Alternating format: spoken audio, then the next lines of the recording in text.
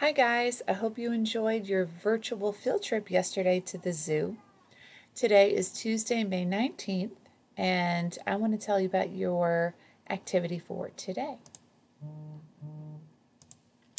So yesterday you were at the zoo um, and you noticed animals and their different habitats. Today I want you to pretend that you are a zoologist and you've discovered a new species of animal an animal that has never been discovered. Very exciting. Um, and so you are going to be telling us and teaching us all about the new animal you discovered.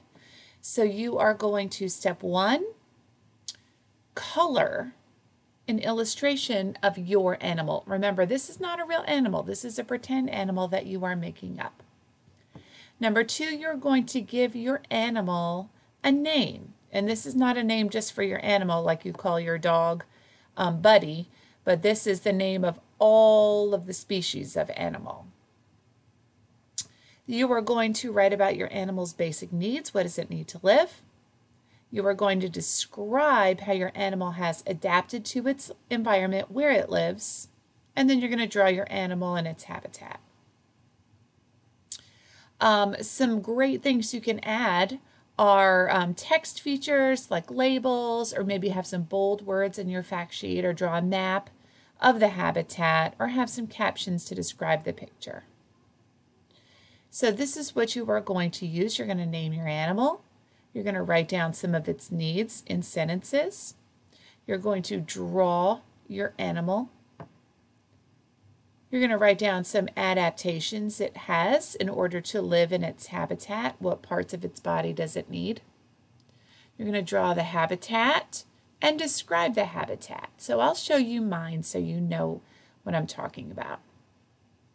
So here's my animal. I gave it a name. I discovered this animal. It is not a real animal. I call it the slitherachnid. And so I drew it. It's part spider but instead of having spider legs, it has snakes for legs. Pretty horrifying. So this is my animal that I discovered. No one has ever seen it before. The slitherachnid. So I drew my picture. Um, a better picture would have labels. Um, a better picture would have more color in it than mine. Then I wrote about the animal's needs. So what does a slitherachnid need to live? Well, this animal needs to drink water, it needs to breathe air, and it needs small animals to eat.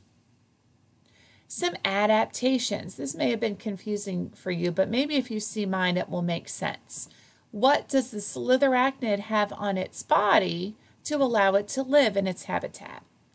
Slow. So this animal has eight legs and each leg moves like a snake, which helps the slitherachnid move easily through trees. So its habitat is trees and this these snake legs help it live there.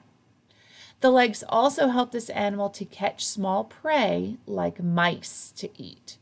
So the adaptation is that these legs that are that act like snakes on the slitherachnid help it to move in trees and to catch mice. Now here's a picture of my habitat. To make it even better, you would put your animal in the habitat or draw a map of the habitat. Uh, my habitat uh, description says the slitherachnid lives in the trees of the Amazon rainforest. So that's where you can find this brand new, discovered by me, animal.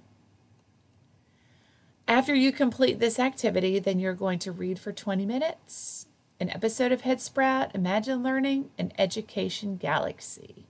Um, feel free to take a picture of your animal. I'd love to see it um, and see what kind of creative animal you have discovered. Have fun with this. And I want to see your creativity. All right, talk to you guys soon.